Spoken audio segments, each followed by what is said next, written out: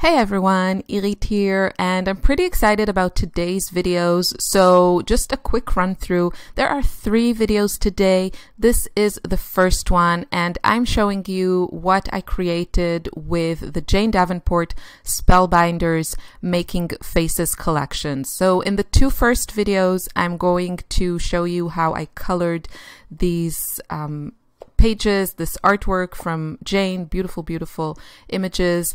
And then the third video shows you how I put everything together and incorporated these pieces into my art journal. So I hope you will join me and that you will enjoy these. Uh, make sure you check out also my unboxing video and swatching video so you can see exactly the products that I got and that I'm playing with. So let's get started. I actually, the first uh, piece that I created is the girl that you see on the back there, the back of the packaging of these um, sheets of paper. So you can see them right, you can see that girl on the left side next to those three um, crayons. And I really, it was my first project using this surface it's called Not Quite a Blank Slate set, and you get um, what Jane says 10 specialty mixed media surfaces. So five have already artwork on them, and then five are black, uh, blank. Sorry. So um, the first one I just wanted to, I thought it would be really easy to follow Jane's example and play with the supplies without having to think about, you know, colors and all that stuff. So that's what I did first just to get uh, myself familiarized with it. And then I moved on to this second piece of uh, page blank, not so, not quite a blank slate uh, paper. And I'm starting to color it. So I found with all of these, uh, with all of these uh, surfaces, these mixed media papers, that for me it worked really well to start with a layer of paint. So I used, I think on everyone, the Matchmaker set, which has these three kind of skin tones uh, paints. And I think at some point I might have added also gesso, but for the most part I kept just to these uh, paints. Obviously you can mix them with Jane's other paints. And I actually mixed them with the other um, paints that I got here. So for example, all these pink and purple shades I created using the color sticks and mixing them with the paint. And of course, that beautiful, beautiful brush is from the Mermalicious brush set and it works really well and it's a lovely brush and also very um, pretty to look at and play with. So I decided with this girl to keep it kind of monochromatic. I really wanted just to play with these beautiful shades of pink and peach and some purples. And um, yeah, I, I I love her hair and her expression, and I thought she looked kind of delicate. And also, the size is a little bit smaller than the other girls in this pack. It comes with two images that are uh, a little bit smaller, and then two images that are more close up on the faces, and those are the ones that I went into more detail when it comes to the shading. And here I kept it a little bit simpler. And there's uh, also one frame. Uh, you will see everything.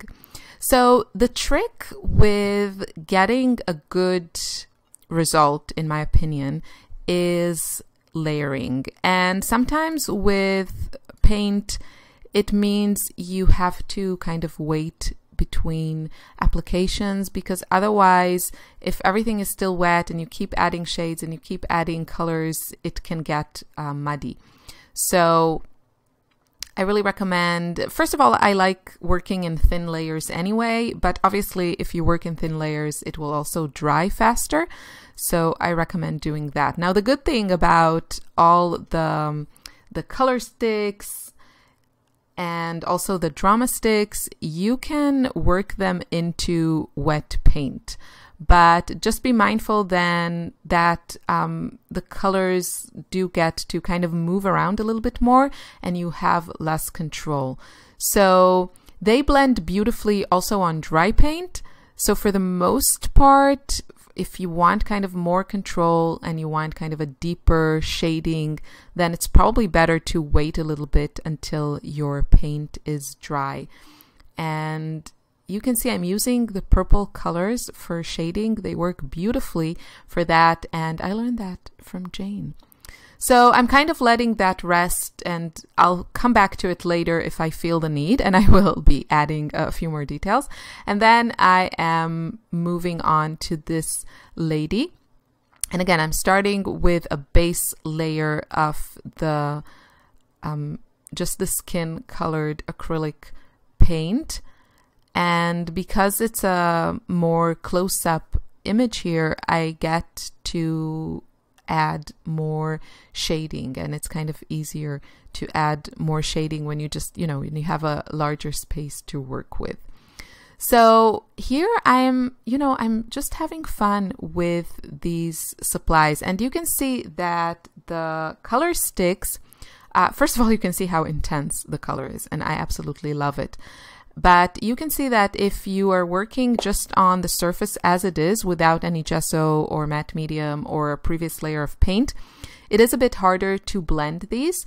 So it all depends what you want. If you want kind of a more um, textured look where you can actually see your, you know, the marks where the lines of applying the the stick there, the crayon, then do that directly on the surface. But if you want the ability to kind of blend it more smoothly, then I recommend starting with um, some sort of paint or gesso, um, that sort of thing, just to give you that uh, surface that allows the paint to move. So I thought I would uh, try a, little bit of watercolors, and this paper accepts it, no problem.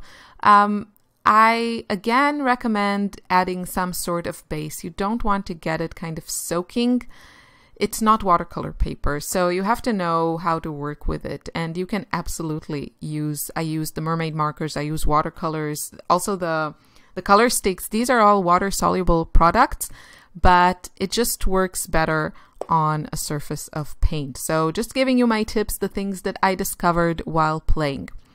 I grabbed this uh, piece of paper with that frame and I was just playing around with the sponge.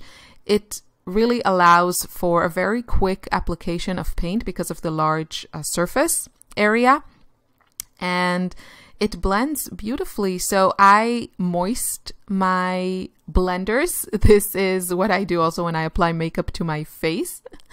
and um, that kind of gives you a little bit more moisture and it also uh, prevents from the product just you know sinking into your sponge or blender so I I wet them first and then I squeeze out all the water and uh, use them damp.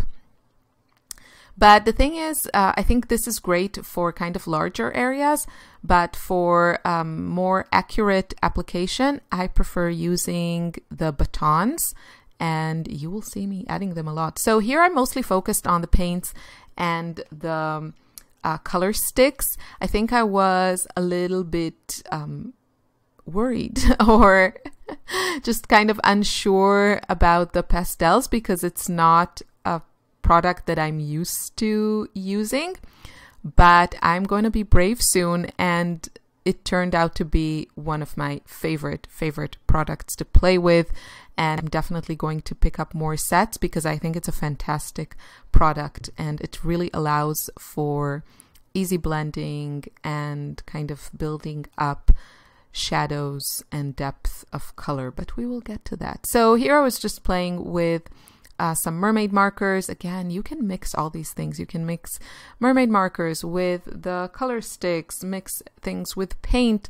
Uh, anytime you mix kind of watercolors or something like mermaid markers, if you mix them with acrylic paint, that makes them permanent. And then again, you can layer things, let them dry, and they won't budge.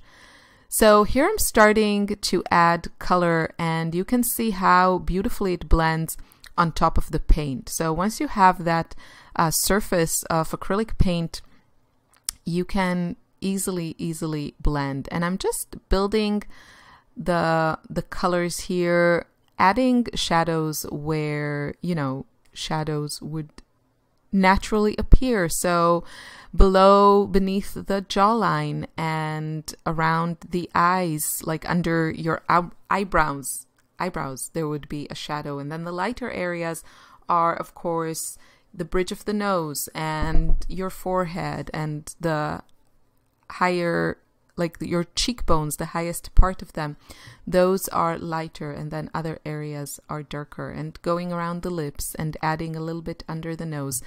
This is, it needs time and layering and going back and assessing and looking if you want to get that dimensional look. There's really, I don't think there's a way around it unless you're very, very brave with your color applications. But a lot of times, you know, you add something, it looks good, and then when you kind of let it dry and come back to it, you find that it looks flatter than you thought. And then you have to go back and add more depth. And there are areas that are always darker. Also in the shadows, there's no one shade of shadow. There are areas that are um, very dark, and then there are areas that are a little bit dark. So just, you know, follow those lines and gradually add more and more color, more and more detail. And you will see if you keep at it and don't give up fast, um, you will see that your creations will be more interesting and have more depth. This is something I'm saying this not as, you know, this is how I do this all the time and that's the right way to do it. This is what works for me. And these are also the struggles that I have. You know, many times where I paint uh, my own faces, I will find the result kind of flat and boring. But it is about adding that detail, adding that depth, going into it again and again. So here I am starting with the pastels, and this is pretty much the first time that I used them. The more I used them, the more I loved them.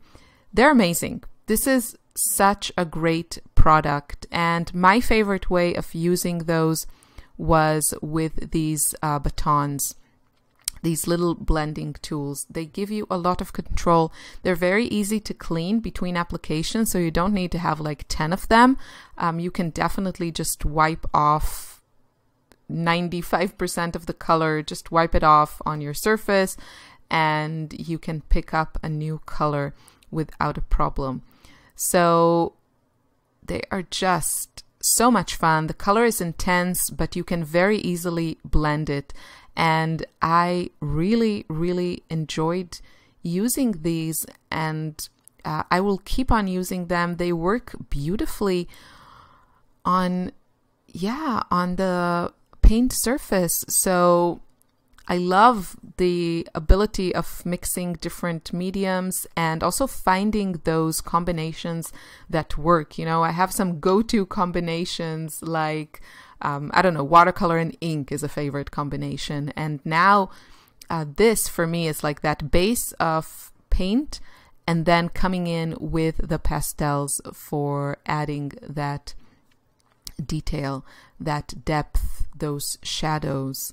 It just makes everything look better, more dimensional, more, you know, like dimensional is what I want to say because we are working with a flat piece of paper so we need to make it to make the images pop to bring them to life and it's just the shadows that's what does it for me all that detail all those um you know different colors so i'm just playing here. I just want to see how the colors perform, how they layer. I'm adding just a little bit of warmth around the girl. Everything is very kind of pink and purpley.